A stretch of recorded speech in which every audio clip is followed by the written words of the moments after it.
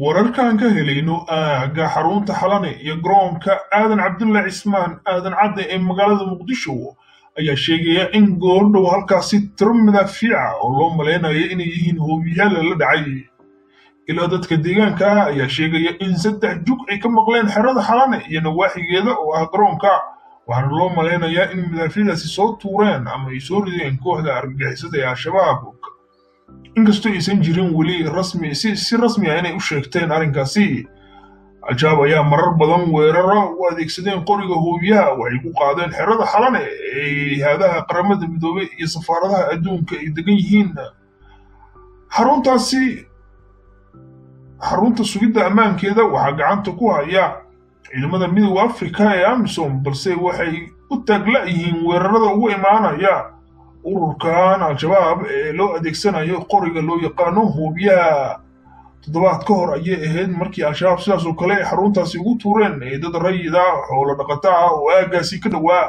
oo soomaaliyeed ee xoolahoodii geeloodii lo-doodii ku laayeen. Qaar kalena tiro kalena madaafiic ahna ay gudaha u galeen garoonka aadan cabdulle cismaan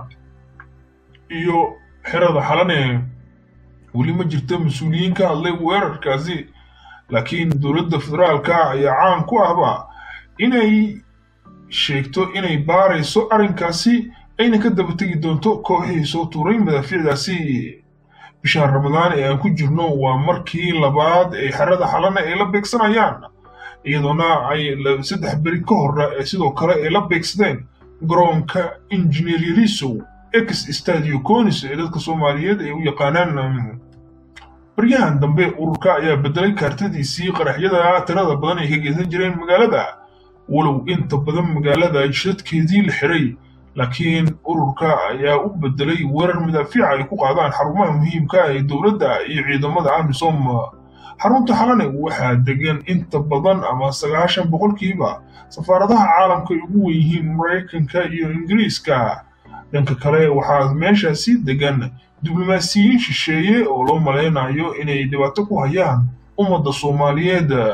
Dadka soomaaliyeed ayaa aaminsan in xarunta xalana ay tahay meelaha laga muleego shaqoolada loo geysto dadka soomaaliyeed iyadoona aysan kala jeclayn haddii madaafiic lagu tuuro iyo haddii kaleba waa maxamed alfa salaamullaahi calaykum